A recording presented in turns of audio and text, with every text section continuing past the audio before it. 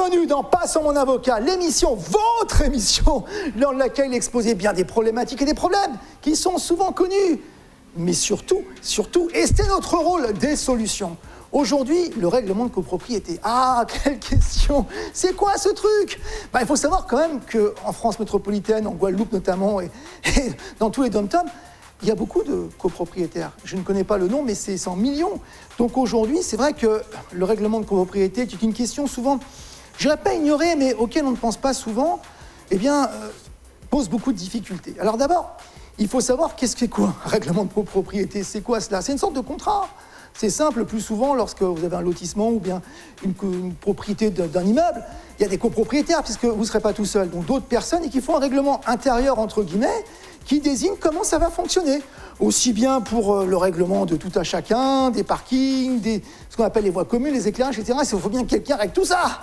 Donc c'est l'ensemble de la communauté de ces copropriétaires qui établissent donc ce document. Le plus souvent, c'est le notaire qui l'établit lors des actes d'acquisition. Et puis euh, ensuite, bah, lorsque vous achetez un, bien, bah, si le règlement de copropriété existe déjà, eh ben vous, vous, vous en héritez. C'est un héritage parfois un peu complexe.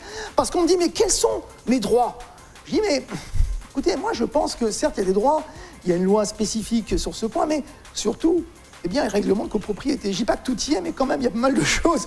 Et c'est vrai qu'avant, par exemple, de se dire, bah tiens, je vais euh, changer, par exemple, euh, mes persiennes, je vais euh, faire un petit, un petit jardin, je vais un peu clôturer, etc. Ça va être sympathique, ça va être joli. Moi, je vous dirais, peut-être vous devriez regarder le règlement de copropriété, qui n'est pas toujours facile à lire, il y a pas mal de pages, etc. Mais je pense qu'il y a beaucoup de réponses dedans. Et les vraies difficultés, c'est quoi? Bah, C'est quand, justement, souvent, on n'a pas pris la peine de le lire, et on se rend compte qu'il fallait l'autorisation des copropriétaires, du syndicat des copropriétaires.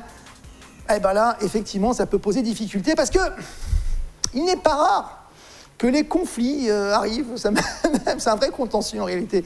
Il y a beaucoup de contentieux sur les copropriétés. Bah, pourquoi Une personne a fait une petite construction devant chez lui, c'est un petit rien du tout, hein, bien sûr. Et puis ça ne plaît pas à tout le monde. Parce que le voisin, lui, a eu l'autorisation, mais pas vous. Ah, il a la même chose, on me dirait, bah oui, c'est comme ça. Mais lui, bah, il a fait les choses comme il fallait. Il a lu le règlement de propriété. Il a donc envisagé que la question soit présentée donc, au syndicat des copropriétaires. Il y a eu un vote et c'était accepté. Voilà, essayer le, le respect donc de ces règlements. Donc en fait, souvent ce droit, on pense quels sont mes droits. Moi, je dirais quel est le contrat, quel est le règlement de propriété, quels sont mes devoirs en réalité sur ce point? Et qu'est-ce que je peux faire? Je pense que souvent les problématiques existent parce que on s'imprègne pas assez de ce règlement de propriété, qu'on envisage donc de se donner des droits peut-être légitimes. Je peux comprendre que je fasse la même construction, ou à peu près les mêmes abords que le voisin, mais en ai-je le droit? La vraie question, elle est là. Et même si le voisin peut-être n'est pas content, peu importe. Il faut envisager à ce que cette question soit posée dans l'Assemblée générale et qu'il y ait un vote. Alors, juste pour vous dire, syndicat des copropriétés, représenté par un syndic, donc qui est le plus souvent un professionnel, pas toujours. Il faut donc que cette question soit posée, il y a des délais, etc., tels que l'envisage donc le règlement de copropriété, qui sont bien sûr inspirés de la, de la loi, ça c'est évident, mais néanmoins tout est dedans, entre guillemets. Car au final, la loi, elle va régler quoi? Bah, Les conflits. Parce que le reste, c'est du contractuel. Et oui, la loi règle les conflits, éventuellement, évidemment, il peut y avoir des difficultés, s'il y a une règle qui n'a pas été appliquée, il y a des délais, etc. Mais avant tout, la loi règle des conflits. Le règlement de copropriété, à mon sens, en tout, devrait dire pas mal de choses, si ce n'est l'essentiel, voire tout. Voilà. Ainsi s'achève notre émission, l'émission dans laquelle on envisage, certes, des problématiques comme aujourd'hui, mais surtout, surtout, des solutions.